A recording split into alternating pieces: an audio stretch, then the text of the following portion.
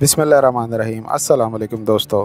Information alarm 360 में खुश आमदीद आज हम बात करेंगे, जो कि गर्मियों का सबसे कॉमन मसला है, कि अपने बगलों और पसीने की बदबू से हर बंदा तंग हो जाता है। तो अब चूँकि गर्मियाँ अरूज पर आ चुकी हैं तो हम इस हवाले से बात करना चाह रहे हैं कि जो जो लोग अपने बगलों और पसीने की बदबू से तंग हैं तो इस नागवार बदबू से कैसे छुटकारा पाया जा सकता है या इसको कैसे कम तरीन सतह पर लाया जा सकता है। तो आइए दोस्तों इस सिलसिले में बात करते हैं।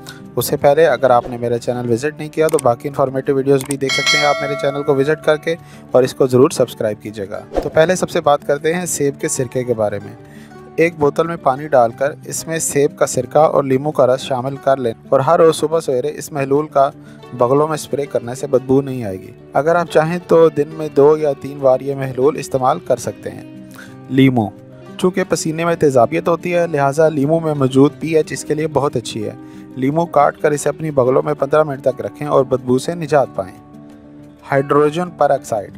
पानी या अर्के गुलाब में हाइड्रोजन परऑक्साइड डालकर इस महलूल को बगलों में लगा लेने से बदबू ख़त्म हो जाती है। डिओड्रेंट। मार्केट में तरह तरह के डिओड्रेंट मौजूद होते हैं। अगर आप नहाने के फ़ौर बाद ये डिओड्रेंट लगा लें तो ये वक्ती तौर पर पसीना निकलने के छेद को वक्ती तौर पर ब्लॉक कर देते हैं और पसीना निकलने की मकदार थोड़ी कम हो जाती है। दरअसल, असल बू पसीने की नहीं होती। जब पसीना जिसम पर मौजूद बैक्टीरिया के साथ मिलता है तो इसकी वजह से बदबू पैदा हो जाती है। Baking soda. दोस्तों, ये ना सिर्फ़ खानों में इस्तेमाल किया जाता है, लेकिन अगर इसे बगलों की बदबू के लिए इस्तेमाल किया जाए तो भी ये बहुत मुफीद है। बेकिंग सोडा और कार्न स्टार्च को मिक्स करें और इसे बगलों में लगा लें। सारा दिन आपको बहुत कम पसीना आएगा। Tea tree oil. ये तेल जल्द के लिए बहुत ज़्यादा मुफीद है और इसके इस्तेमाल से ना सिर्फ़ जल्द की बीमारियों और इन्फेक्शन दूर होता है, बल्कि जिसम की बदबू के लिए मुफीद है। चंद कते टी ट्री ऑयल को अर्के गुलाब में शामिल करें और इस महलूल को स्प्रे करें। जिसम और बगल की बदबू टाइम टाइम फ़िश हो जाएगी। Natural soap.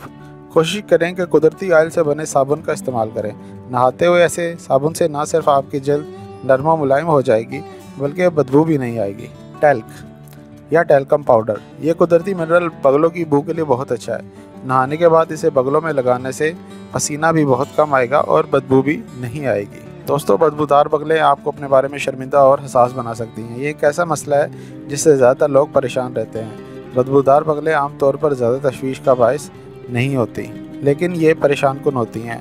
तो दोस्तों, ये जो बताए गए तरीके वीडियो में अगर आप इन पर अमल पैरा हो जाएँगे तो यकीनन आप इनसे जल्दी छुटकारा पा लेंगे, या कम अज़ कम इसकी इंटेंसिटी को या इसकी शिदत को कम से कम तरीन सतह पर ले आएँगे। दोस्तों, उम्मीद करता हूँ कि ये छोटी सी इन्फॉर्मेटिव वीडियो आपको ज़रूर पसंद आएगी। और इस वीडियो को ज़रूर लाइक कीजिएगा और शेयर कीजिएगा, और मेरे बाकी चैनल को भी ज़रूर विज़िट कीजिएगा। अगली इन्फॉर्मेटिव वीडियो के तक के लिए मुझे दीजिए इजाज़त। अल्लाह हाफिज़।